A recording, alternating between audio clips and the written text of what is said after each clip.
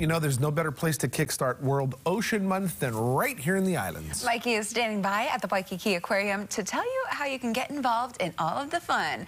Happy World Ocean Month, Mikey. How's it going over there?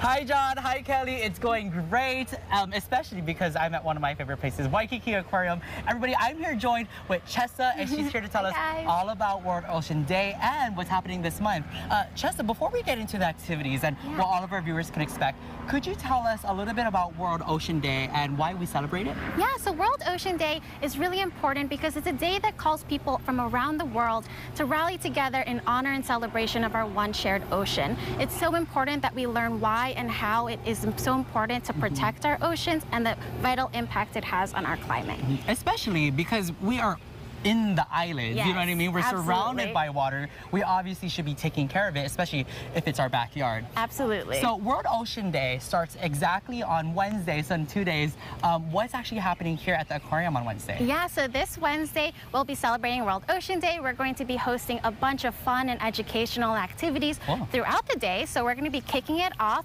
with our ocean inspired crafts where guests can actually make their very own water is life magnet with our volunteer Vanya. We'll also be having a special Hawaiians in the Sea presentation with our education department.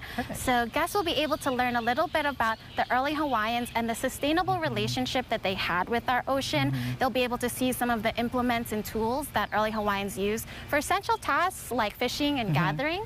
And then another special thing we're having is, is our Meet the Biologist encounters. So our guests will be able to actually meet some of our biologists, learn about our different exhibits that we have, and they'll be able to see as we feed some of our exhibits and just ask any questions they may have. It's going to be a really fun time. Yeah. A full list of our activities of the day is on our website, on our events page, and we're just really excited to have the community back to learn more about our Yeah. ocean and again how we can protect them.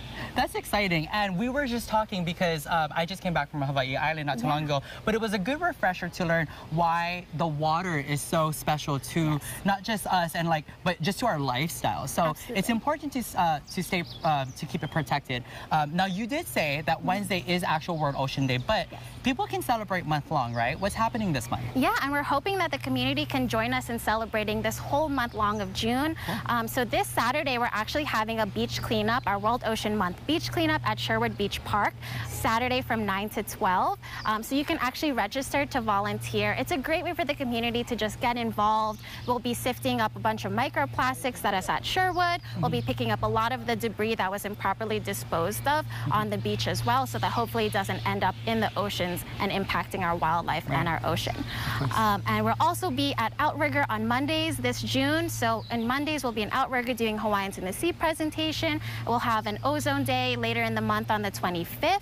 And we'll also have a special Paint for Your Soul activity uh, later in the month as well. Fun. I like that. And if you said everybody can log on to your website Yes. um, if they wanted to get a full list um, of activities and events, what's that website again? Yeah, so it's at waikikiaquarium.org, and you can also follow us on social media at Waikiki Aquarium. Awesome. Chessa, thank you so much for talking Aw, to myself you. and especially all of our viewers out there. Um, everybody will have more information on khon2.com. But stay with us because in a few minutes, we'll be talking about how you guys can protect our oceans year round. Johnny Kelly, I'm going to send it back to you. I'll see you back here at the Waikiki Aquarium.